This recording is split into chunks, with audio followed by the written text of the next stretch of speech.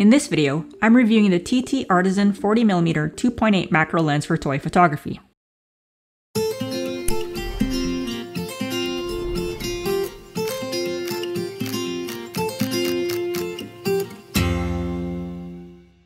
TT Artisan just came out with its manual 40mm 2.8 macro lens a couple of weeks ago and they sent me this one to review for toy photography.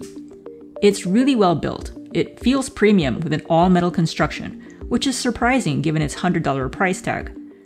Once you get this very odd screw and lens cap off, you'll see that the glass is deeply recessed, which means it's pretty protected. There are 11 rounded aperture blades which allows for nice bokeh even stop down, you can see that it still has a circular shape as I close the aperture.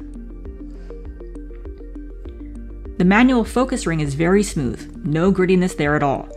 The lens extends out as you change focus and go to one-to-one -one magnification. Yes, this is a true macro lens. I hardly ever shoot at one-to-one for my toy photography, but it's great to use for detail shots, and of course, for exploring other macro subjects. You can control your focus with precision with this manual focus ring as well. As I mentioned, it's a manual lens, so the aperture is controlled on the lens by turning this ring here. It goes from a fast enough f2.8 to f16. The aperture ring is in half stops and it's clipped, so you can feel when you are changing to a different f-stop.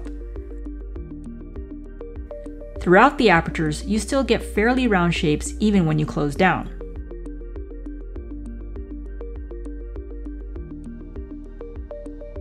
Wide open, the LEGO Knight is really sharp and the bokeh is very nice. Closed down to 5.6, the bokeh still looks quite nice to me. As with all macro lenses, the TT Artisan 40mm f2.8 is very sharp and has a very shallow depth of field. At 1 to 1, the closest focusing distance is 0.17 meters.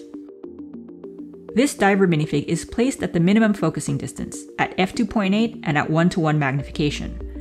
Focusing on the subject is precise, but you'll notice some significant focus breathing, but not very unusual for a macro.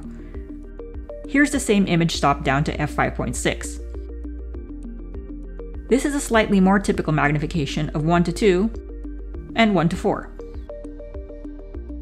After testing this lens for a couple of weeks, I think that the TT Artisan 40mm f2.8 macro is a no-brainer purchase for anyone looking to get into macro work.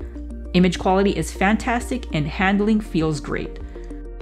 It's about $100, so this hardly breaks the bank. And just because it's a macro lens doesn't mean it can only shoot macro shots. It can be used for a variety of shots. The TT Artisan 40mm f2.8 macro is available for a variety of APS-C and Micro Four Thirds mirrorless cameras. I'll leave a link to the specs in the description below. Thanks for watching. If you like my content, please like and subscribe. See you soon.